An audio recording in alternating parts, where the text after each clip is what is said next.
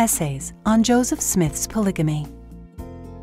Episode 18 John C. Bennett's Spiritual Wifery. John C. Bennett arrived in Nauvoo in September of 1840 and stayed less than two years. In spite of his relatively brief time living among the saints, he impacted the secret expansion of plural marriage in several ways. Although gifted in many areas, Bennett had a troubling hidden past. Historian Linda King Newell provided this pithy observation. There is no evidence that Bennett was hampered by either theological or ethical considerations. By mid February 1841, Joseph Smith sent George Miller to McConnelsville, Ohio, to investigate rumors about his reputation.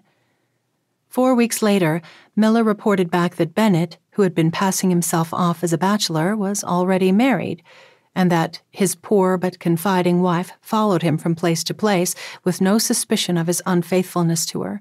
At length, however, he became so bold in his departures that it was evident to all around that he was a sore offender, and his wife left him under satisfactory evidence of his adulterous connections. Having been the focus of numerous rumors himself, Joseph did not immediately expose Bennett. Perhaps hoping that church affiliation might assist Bennett's redirection, Joseph supported his election as Nauvoo's first mayor and even asked him to serve as an assistant to the first presidency. It appears that this surprising advancement was the result of Bennett's immoral antics being privately discovered, and then, after promising to reform, Bennett received another chance to regain Joseph's trust. Bennett biographer Andrew F. Smith concluded Despite the importance of his position, Bennett appears to have officiated at few public religious activities. He occasionally preached, and as mayor of Nauvoo, he performed a few civil marriage ceremonies. He did serve as president pro tem in a special conference held on April 6, 1842 but otherwise he played little role in church conferences. Because of the public relationship between Joseph Smith and Bennett, multiple authors have concluded that Bennett was privy to Joseph's plural marriage teachings. However, Bennett later denied learning about marrying for eternity, monogamously or polygamously, while in Nauvoo. In a letter to the Iowa Hawkeye published December 7, 1843, he claimed that eternal marriage was an entirely new doctrine to him. In contrast, Andrew F. Smith noted, no primary evidence has been presented indicating that Bennett was officially involved in the evolving practice of polygamy in Nauvoo.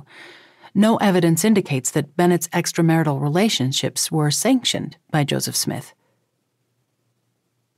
Whatever early repentance Bennett may have initially manifested, his personal behavior throughout most of 1841 and early 1842 shows that he did not follow through. In clandestine circles, he whispered teachings of spiritual wifery, which allowed any man and woman to experience sexual relations without a marriage ceremony, so long as they kept it secret. Bennett soon had a number of gullible men and women convinced his teachings were acceptable. In May of 1841, he approached church member Caroline Fuller privately with an illicit sex proposal only a week after they first met. On May 25, 1842, she testified that Bennett seduced me. Nearly a year ago, I became acquainted with John C. Bennett after visiting twice, and on the third time he proposed unlawful intercourse, being about one week after first acquaintance. He said he wished his desires granted I told him it was contrary to my feelings. He assured me that there was others in higher standing than I was who would conduct in that way, and there was no harm in it. He said there should be no sin upon me. If there was any sin, it should come upon himself. John C. Bennett was the first man that seduced me. No man ever made the attempt before him. Whether Joseph Smith was aware of his seduction is unknown. However, Bennett's immoralities apparently had reached the prophet's ears weeks later. In 1842, L.D. Wasson, Emma Smith's nephew, wrote to him I was reading in your, Joseph Smith's, chamber last summer, 1841. Yourself and Bennett came into the lower room, and I heard you give J.C. Bennett a tremendous flagellation for practicing iniquity under the base pretense of authority from the heads of the church. If you recollect, I came down just before you were through talking. Bennett's lasciviousness resurfaced early in 1842, but Joseph was still reticent to expose him. Apparently, Joseph Smith exercised extreme patience with John C. Bennett.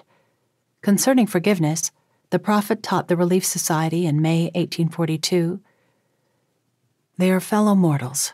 We loved them once. Shall we not encourage them to reformation? We have not yet forgiven them seventy times seven as our Savior directed. Perhaps we have not forgiven them once.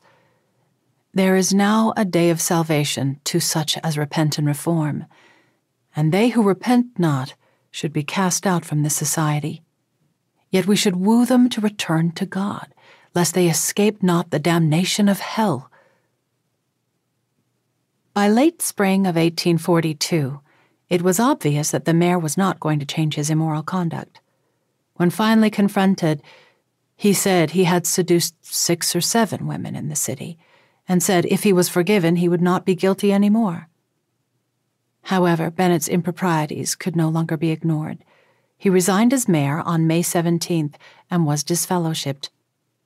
That day, he signed a public confession. Personally appeared before me Daniel H. Wells, an alderman of said city of Nauvoo, John C. Bennett, who being duly sworn, according to the law, deposeth and saith that he never was taught anything in the least contrary to the strictest principles of the gospel, or of virtue, or of the laws of God or man under any circumstances, or upon any occasion, either directly or indirectly in word or deed, by Joseph Smith, and that he never knew the said Smith to countenance any improper conduct whatever, either in public or private, and that he never did teach to me in private that an illegal, illicit intercourse with females was, under any circumstances, justifiable, and that I never knew him so to teach others. Joseph later complained The only sin I ever committed was in exercising sympathy and covering up their, John C. Bennett and others, iniquities, on their solemn promise to reform. And of this I am ashamed, and will never do so again. During Bennett's 22 month stay in Nauvoo, he experienced a meteoric rise in power that was matched in speed only by his fall from grace, which was primarily due to his womanizing behaviors. Had John C. Bennett quietly exited Nauvoo, leaving the flurry of accusations to fade through the passage of time, the remainder of Joseph Smith's life might have been dramatically altered. Bennett, however, was not inclined to walk away from a fight. In addition, he was intelligent and gifted in many areas with established ties to publishers and politicians in the East. Months later, he wrote, He, Joseph Smith, has awakened the wrong passenger and must suffer. His written onslaught consisted of six letters to the Sangamo Journal in Springfield, Illinois penned between July 8th and August 19th, followed by an expose titled The History of the Saints. Andrew F. Smith assessed. Although the book was almost 350 pages, four fifths consisted of material previously written. In his publications, Bennett's depiction of the practice and teachings of polygamy in Nauvoo were remarkable, even over the top. The weaknesses were not lost on anti Mormon authors. T.B.H. Stenhouse cautioned no statement that he makes can be received with confidence. Joseph Smith tried to neutralize John C. Bennett's charges in several ways, including plain denials. Missionaries were also dispatched specifically to counteract his claims against the church. Henry William Bigler recalled in the month of August 1842, at a special conference, a goodly number of elders were called to go on missions and to rebuke John Bennett's lies. Among the number I was called. The problem they encountered stemmed from the willingness of readers to believe Bennett's claims simply because of his geographic closeness to the Latter day Saints and church leaders. This is understandable and gave the former mayor a pulpit from which he could effectively criticize Joseph Smith. While in Nauvoo, Bennett had heard rumors of polygamy and had apparently spoken with some insiders concerning the practice.